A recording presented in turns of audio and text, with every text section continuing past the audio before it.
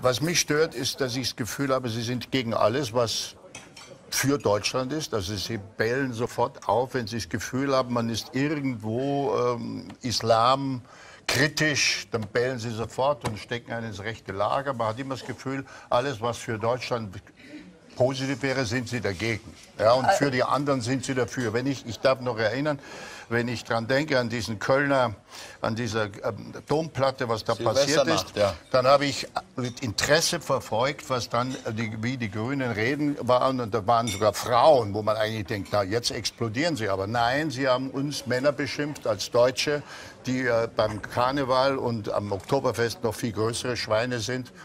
Und plötzlich war das relativiert, dieses ganze Thema. Da habe ich also gedacht, jetzt geht's los. Ja? Also ich habe wirklich das Gefühl, wenn ich das sagen darf, dass die Grünen ein anderes Volk wollen. Das glaube ich ganz stark. Ich glaube, dass Dafür eine, gibt es Indizien. da ist Ja. ein Grund, da ist ganz tief, ein ganz tiefer Grund von, dass die sagen, es gibt, das gibt's alles nicht mehr. Und ähm, das, das Gefühl habe ich, sie haben vor, ein anderes Volk zu machen. Das glaube ich Na, ganz wir sind stark. aber das nicht Brecht, wir sind nicht Keuner, der sich ein eigenes anderes Volk, sondern was ich gut finde, Herr Halmer, dass wir endlich einmal die Realitäten anerkennen.